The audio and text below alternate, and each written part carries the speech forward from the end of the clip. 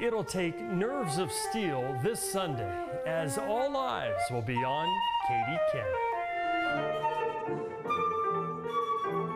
Where do you go in your mind when you're playing? It's kind of a, I guess, out of body experience in a way. Much like the soaring notes that fly from her fast fingers and flute, Katie Kim has been a rising star since attending Poway High, Oberlin College, and the Royal Conservatory of Scotland. I think as a professional musician, nowadays you have to do more than just be really good at what you do. Katie earned two master's degrees, and then, to San Diego's surprise, she came home. When one discovers a talent like Katie, it's very special. John LaPiccolo, conductor of the Poway Symphony Orchestra, handpicked this homegrown talent to make her professional debut as a soloist. The competition is incredible. Everybody is wanting to do what Katie is about to do.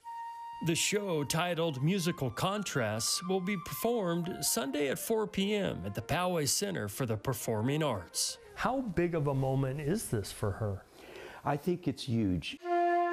Can we just start on that low F? Just Yet there's Katie teaching music to students whenever she can in order to share her gift. It's probably one of the best parts of the job um, to get to form a relationship with these students and just to celebrate their successes. Not only is she a brilliant player, but she's a brilliant person and extremely humble, and that is very rare to find in musicians. Three, four.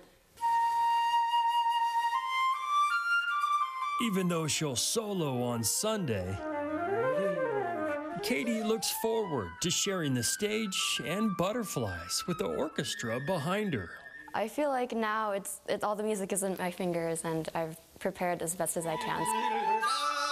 Without giving too much away, expect a big finish from a brilliant career that's just getting started. In the Zevely Zone, Jeff Zevely, CBS 8.